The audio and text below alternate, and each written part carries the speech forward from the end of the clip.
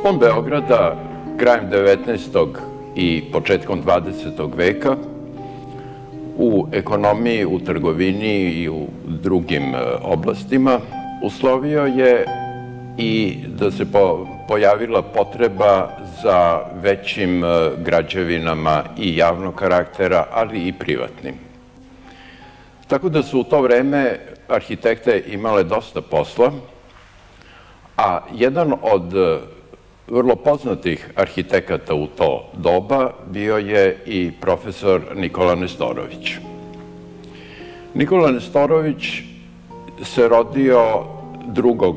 aprila 1868. godine u Požarevcu. Otac mu je bio Bogdan, trgovac, ali i poznat e, čovek po svojoj dobroj naravi, te je često biran za predsednika Požarevačke opštine. Majka Nikole je bila Kata, zvana Lepa Kata, koja je bila čerka Popa Stojana iz Smedereva. Bogdan je imao dve čerke i dva sina, Nikolu i Đorđa. Nikola Nestorović je završio osnovnu školu i nižu gimnaziju u Požarevcu i potom dolazi u Beograd gde završava realku i upisuje se na tadašnji tehnički odsek e, velike škole.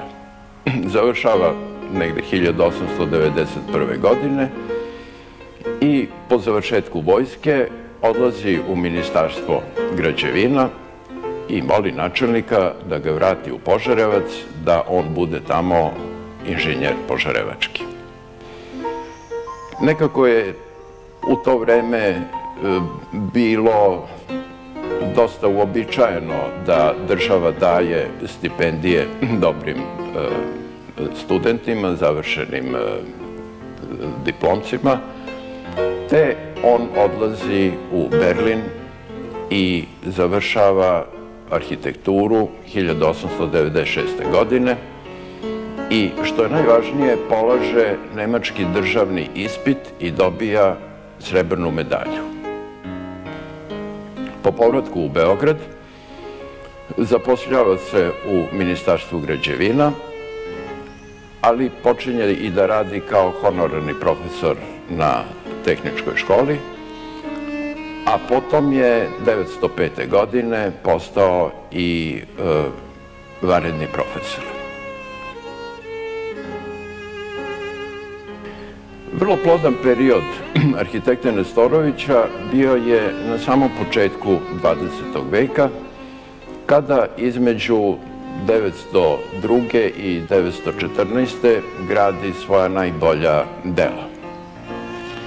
902. 903 izgrađen je, izgrađena je uprava fondova na kojoj je on dobio prvu nagradu zajedno sa e, Androm Stevanovićem, ali je on posle radio sam projekat i to je o zgrada u kojoj je danas Narodni muzej i u kojoj se upravo sada i nalazim. Zanimljivo je da je ta zgrada rađena na podvodnom terenu, ispod ovoga je skoro jezero, tako da je on morao da upotrebi posebnu tehniku šipova, a isto tako je upotrebio jednu tehniku oblaganja e, metalnih greda sa betonom, nešto kao preteča armiranog betona.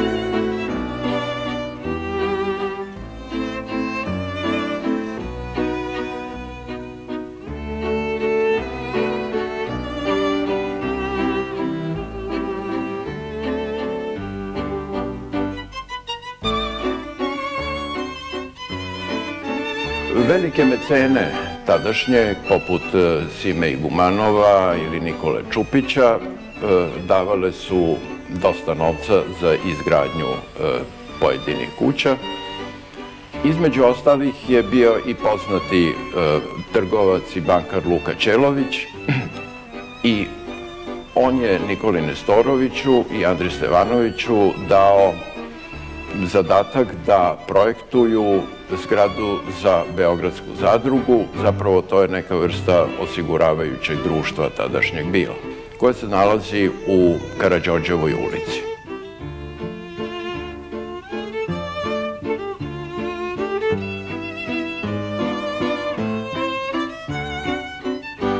I to je zaista jedna od možda najlepših ili među najlepšim zgradama e, Beograda, građena u francuskoj secesiji, ali sa izvanrednim unutrašnjim ukrasom, a i sa bogatom spoljnom dekoracijom na fasadu.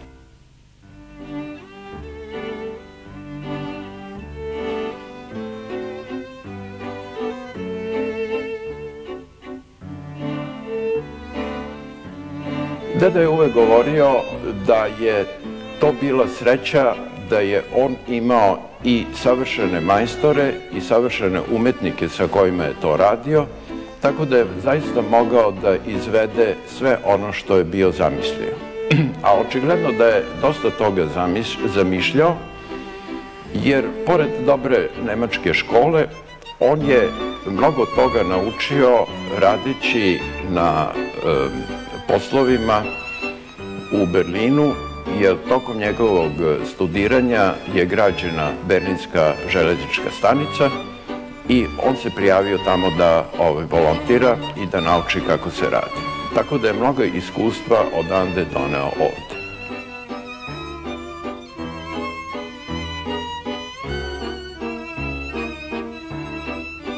U isto vreme, znači tu nekde 1903. godine, Luka Ćelović mu je dao zadatak i da projektuje hotel koji je u neposrednoj blizini Beogradske zadruge i to je današnji hotel Bristol koji je e, Nikola Nestorović e, projektovao u stilu takođe francuske secesije.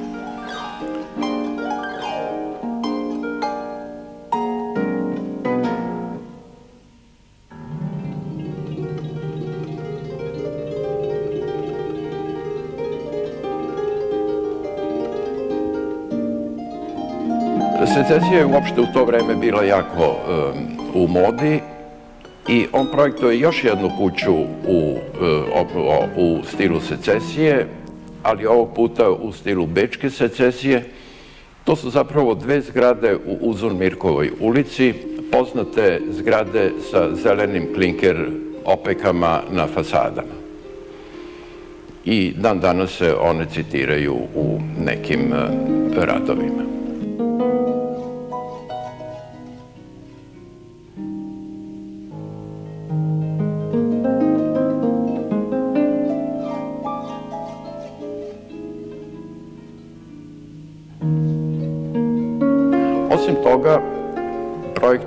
je vojnu bolnicu u Nišu, bolnicu u Čačku, bolnicu u Zaječaru, ali i zgrade načrstva u Kruševcu i Kragujevcu.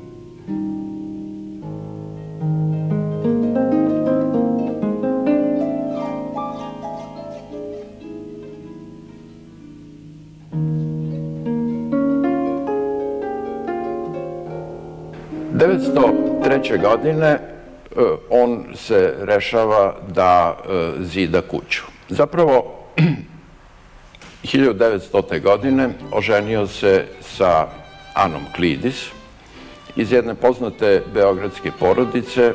Njen otac Manuel Klidis je bio industrijalac kože i obuće, jedan od osnivača Narodne banke sa Đorđem Vajfertom, a bio je i poznat kao e, mason visokog reda, imao je 33. stepen. Njegov otac je imao imanje u Kneza Miloša ulici i na jednom delu tog imanja je sada izgrađena Poljska ambasada, to je on dao svojim, e, svojim sinovima, a moje babi je dao drugu polovinu imanja na kojoj je izgrađena e, kuća.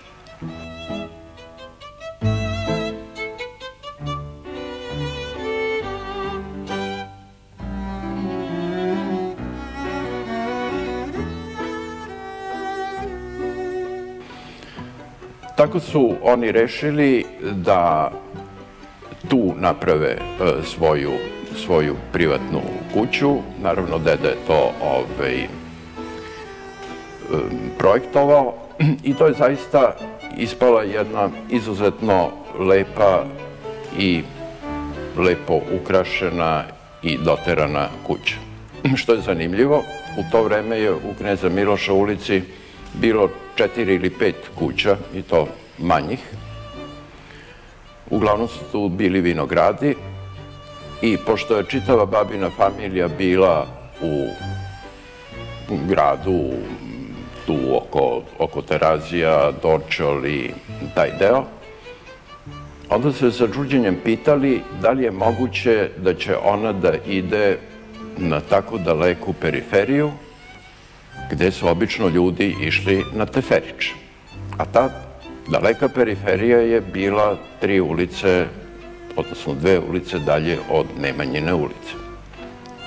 Dakle, koliko je tada Beograd ipak bio mali, ali se i dalje izgrađivao.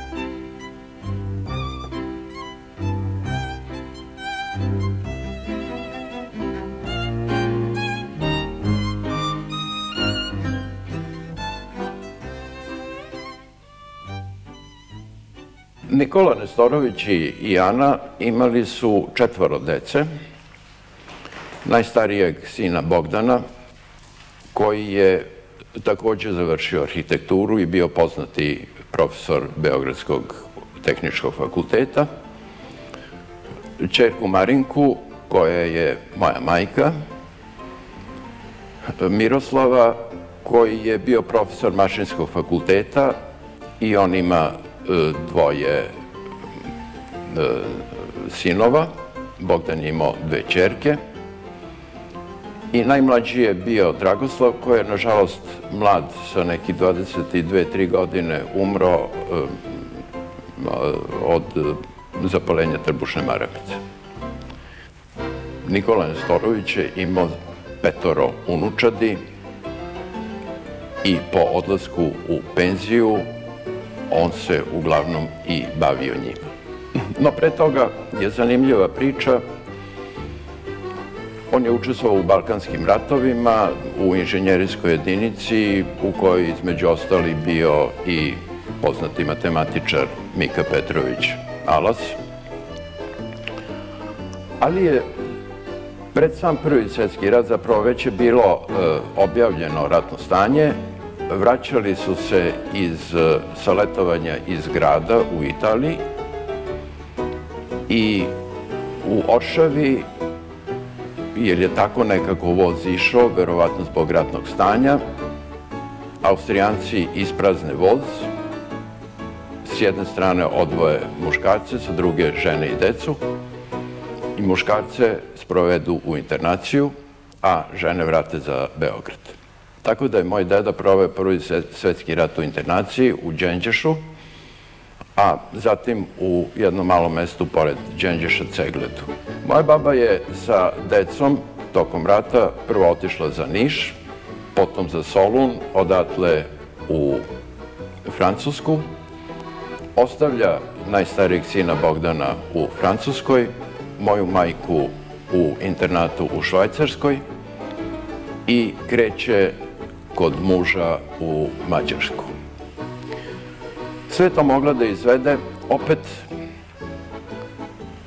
uz pomoć masonskih veza preko mog pradede, ali je zanimljivo da se i moj deda upoznao sa nekim lekarem u Đenđešu koji je bio istaknuti mađarski mason, te mu je on omogućio prijem kod tadašnjeg ministra inostranih poslova u Mađarskoj i on je prihvatio da moja baba sa dva sina dođe kod njih.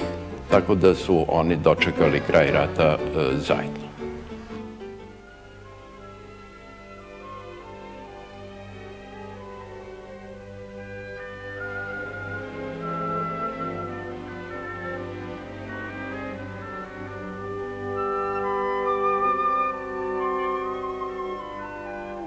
Posle Prvog svetskog rata Nikola Nestorović je e, projektovao još dve značajne zgrade. Prvo iz donacije poznatog milionera Carnegija, iz koje je izgrađena univerzitetska biblioteka i nju je projektovao sa Dragutinom Đorđevićem Nikola Nestorović.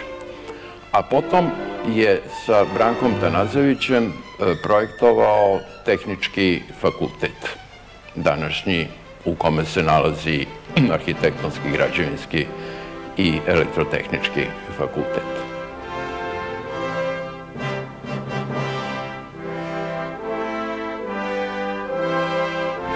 Nažalost, desilo se da je e, njegov kabinet bio na samome uglu prema 27. marta, u kome je on držao zapravo svu svoju dokumentaciju, i da je upravo tu udarila bomba 1941. godine, tako da je sva njegova dokumentacija, svi planovi, to je propalo. Kod kuće on nije imao mnogo toga i jedino što je planova sačuvano, to je u fondu Ministarstva građevina u Arhivu Srbije.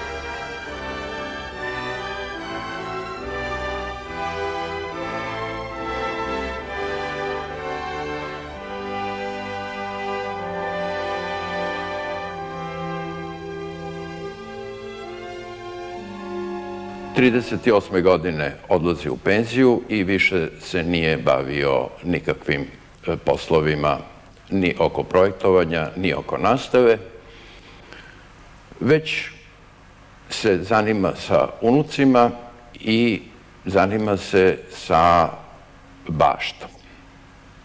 U Kneza Miloša smo ima, je plac bio negde oko hiljadu kvadrata, pod kućom bilo 250, ostalo je sve bila bašta, gde je on sadio voće koje je donosio iz Nemačke, kada je išao u banju da se leči, a takođe i gaju ruže.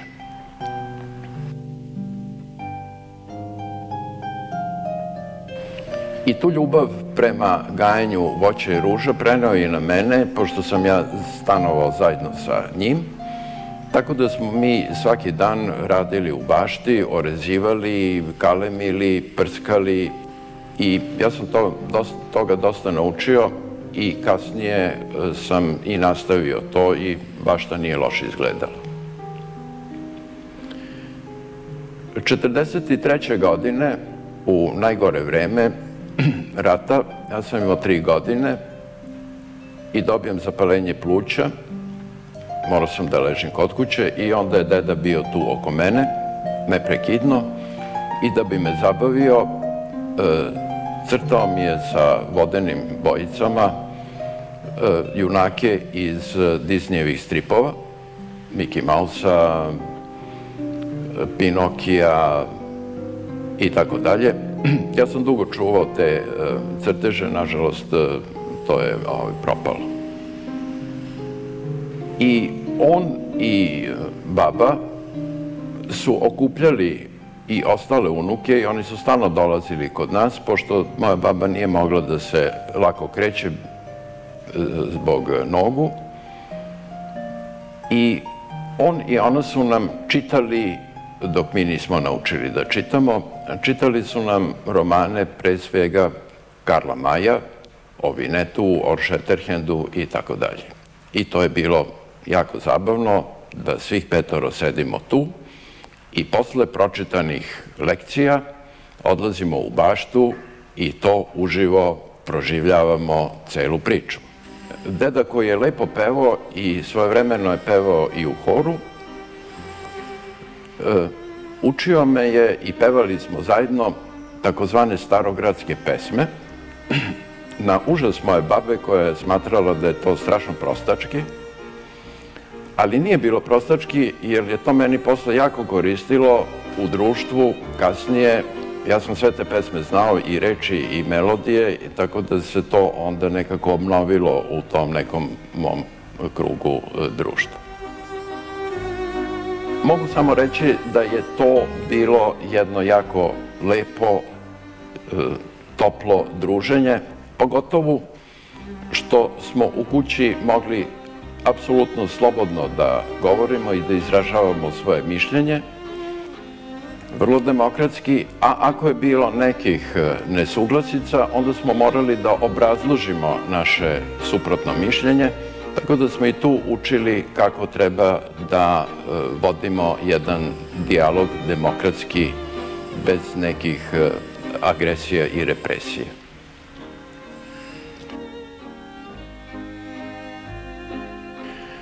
Igrom slučaja desilo se da kada sam diplomirao arheologiju, zapošljavam se u Narodnom muzeju i zapravo ulazim u zgradu koju je projektovao moj deda. Naravno i pre toga sam odlazio i gledao ovaj, izložbu, ali je ovo prvi put bilo da sad ja tu ulazim za jedno duže vreme.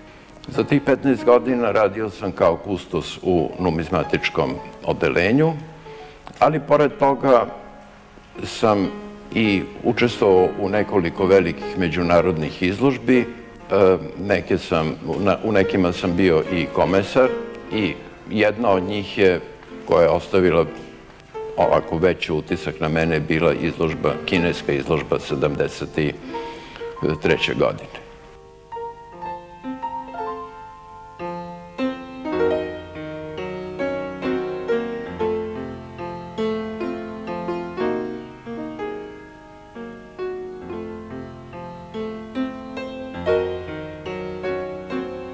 Iz cele ove priče najvažnije je izvući jedan možda zaključak. Videli smo koliko su naši dedovi i naši očevi radili i uradili. Za nas je to bilo sasvim neobično i nepojavno. Ali su nam ipak ostavili u amanet i u neko nasledstvo da i mi nastavimo tim putem. Možda nismo toliko uradili kao oni, ali smo bar pokušali i uvek smo razmišljali o tome da je ono što mi uradimo i što pokažemo svetu, da je to jedini i najbolji vid patriotizma i da ne postoji nikakav drugi patriotizam, nego samo radom svetu dokazati da smo mi jednaki sa njim. I hvala im, hvala našim dedovima na tome što su nam to usadili.